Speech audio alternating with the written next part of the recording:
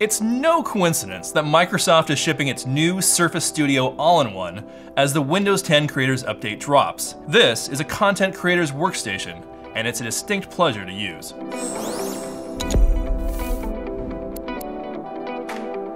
Make no mistake about it, with prices starting at $3,000, this is a professional tool. Our review model cost $4,200 and included a Core i7, discrete NVIDIA GPU, plus a 2TB hard drive and 128GB SSD for storage and speed.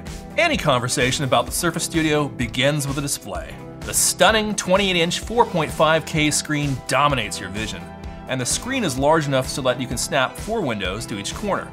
Another key selling point is the display's ability to glide downwards to just above your desk. But just make sure you're not resting your coffee cup in front of it when you do. It's an easel mode where the studio really shines. Inking directly onto the screen, as opposed to using a separate Wacom tablet, is really a fantastic experience. It's here too that the associated Surface Dial really comes into its own. The Bluetooth-powered dial can rest either on the screen or on your desktop. In Windows, a series of basic options can be dialed up with a twist, then selected with a tap.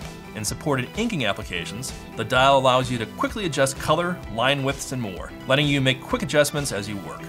Does tend to slip a bit though, and sometimes it's easier to just adjust the color with your pen. As for the mouse and keyboard, well, both are satisfactory, if a bit Spartan. The keyboard keys are even slightly smaller than the Surface Book, but I learned to live with it. Now let's talk a little bit about where the Studio could improve. For one thing, Microsoft chose the iMac-like approach of placing all of the expansion ports on the back, making them tough to reach.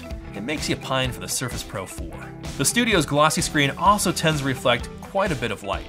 Third, building in a mobile processor and GPU is par for the course in all-in-ones. But since they're housed in the base, I'd be interested to see Microsoft try a small form factor alternative with a bit more horsepower. Why? Because at over $3,000, the Studio is significantly more expensive than competing all-in-ones, even gaming PCs.